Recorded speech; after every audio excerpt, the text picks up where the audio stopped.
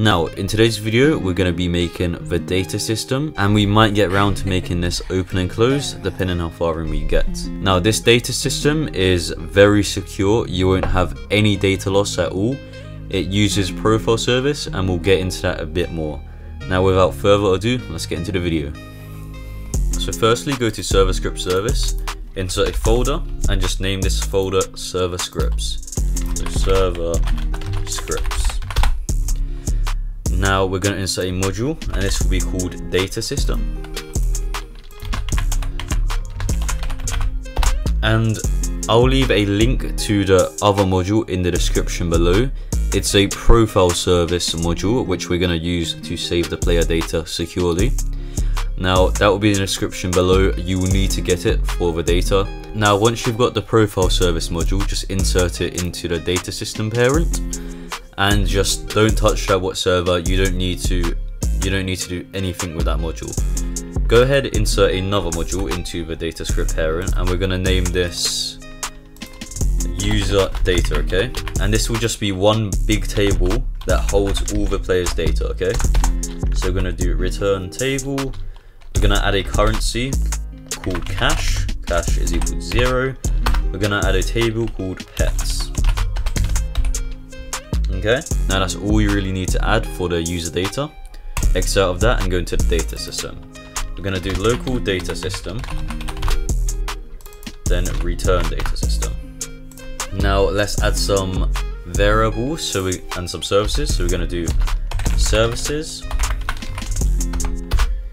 then local players equals game get service players. Then we're going to do modules local profile service equals require script.profile service. Then we're going to do local user data equals require script.user data.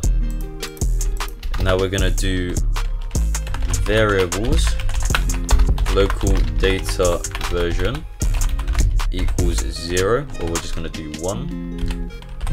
01 like that, then local data store key, data store key equals player data to string data version. Now we're going to do local game profile store equals profile service get profile store our data store key and the user data. Then we're going to do local profiles equals a table. Now we're just going to go ahead and add some functions. So low no function data system get data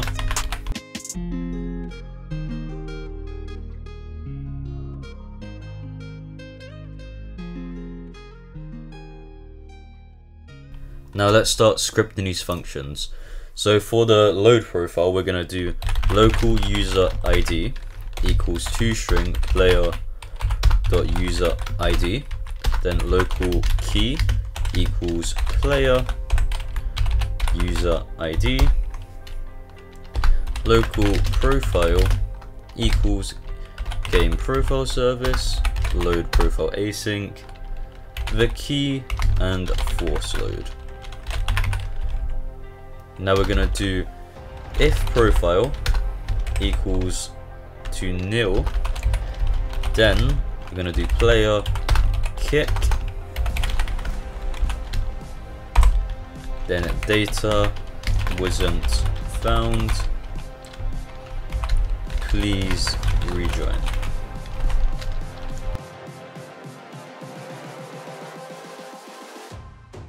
Close your eyes. Just like this okay? Now for the get data what we're going to do is we're going to do local profile equals profiles player. If profile equals nil then one uh, player dot name player name profile wasn't is like this, and then return end.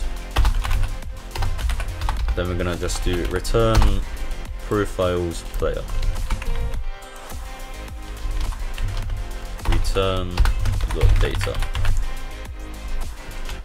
Now when the player leaves the game we're gonna do the exact same as these two lines and then we're gonna do profile release and for load data all we're gonna do is so once again copy these two lines add them here.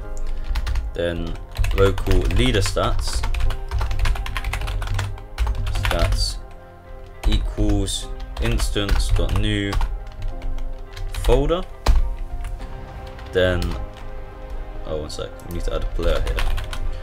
Then leader stats dot name equals leader stats. And then leader stats. Dot parent equals player. Just like that okay? Now what we're gonna do is just give this a quick test.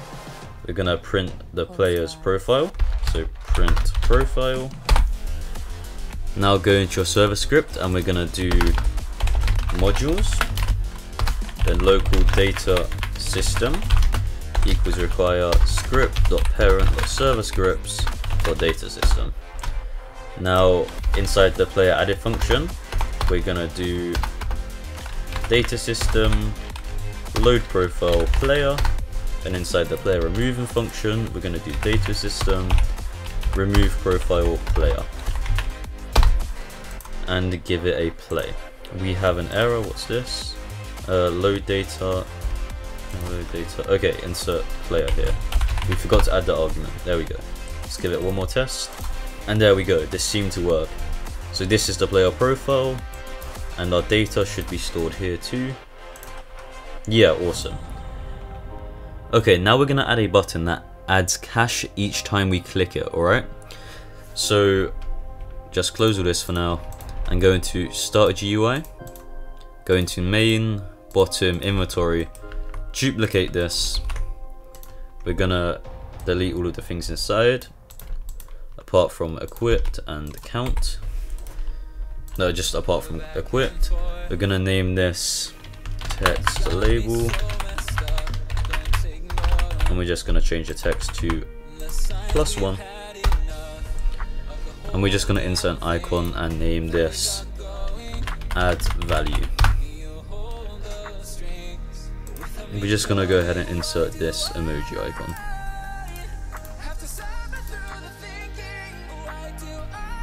Okay awesome. Now what we're to do is we're to go into starter player starter player scripts and insert a folder. We're to name this GUI, insert a local script, and we're to name this add cash.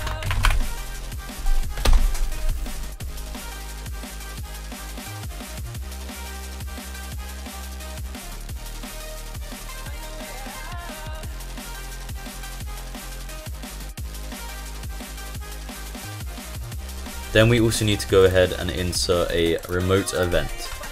So for this, going to replicate storage, insert a folder, we're going to name this signals, insert a folder inside of that named remotes,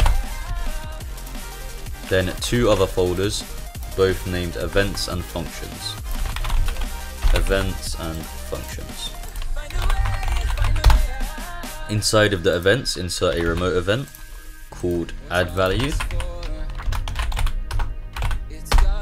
And what we're going to do is we're going to go to local script, do local signals. We're going to do local add value event equals replicate storage. Wait for child signals. Wait for child remotes. Wait for child events. And we're actually we're going to name this events. Okay. Now we're going to do events dot add value fire server amount. Now go into your server script, so server script service.server, and we're going to do local replicate storage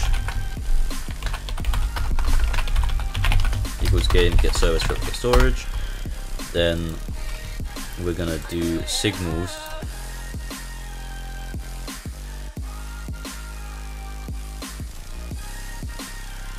Now we're just going to run a quick test by doing print player and the amount. And this should work. So every time we click it yep and it works. Every time we click it it fires it to the server and we get the player name and the amount we want to give. Now we're going to add it to the data okay? So go back into the script and do local player data equals data system get data player. If player data equals to nil, then return end, then player data dot cash equals player data dot cash plus one, or no, plus amount. And we're just going to go ahead and print the player data. Okay, let's go ahead and give this a quick test. Okay, so right now we have no cash. Click it once. We have one cash, click it again. The cash is two, click it again, it's free. And if we keep clicking it, it will eventually go up to 17. However many times you clicked it. Now what we're to do is we're to rejoin and we're to see if this saved, okay? So hit play click the table, click data, and as you can see, the cash saved, okay? So that is the data system for the game done.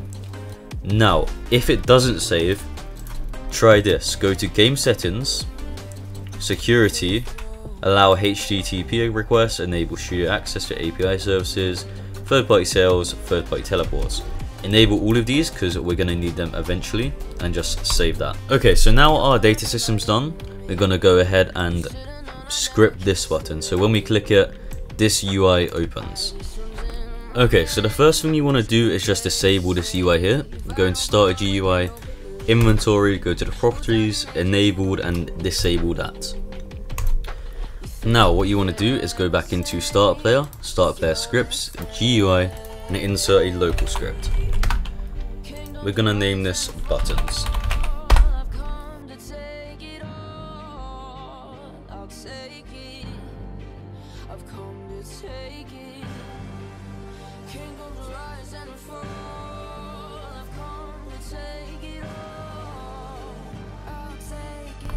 Frame not enabled equals not frame not enabled. Let's try this out real quick. Okay, so here we go. Boom, and that seemed to work. Now we will add tween animations to this next episode, but for today that's gonna do. We've covered the data system, which is great, and we've covered the opening and closing of the UI, so all good. Oh wait, I got an error, let me just Okay, we're gonna do player GUI find first child button name. Then let's go ahead and try that out real quick. Okay, and that fixed the error, so all good. That will do for today's video. In the next part, we will start on the tweening of the UI and also start on the egg system, okay? So next episode will be quite big. Now, let's get this video to 100 likes for part 3, okay? If we hit 100 likes, I'll do a part 3. And with all that being said, if you guys enjoyed the video, subscribe, leave a like, share the video with friends, and I'll see you soon.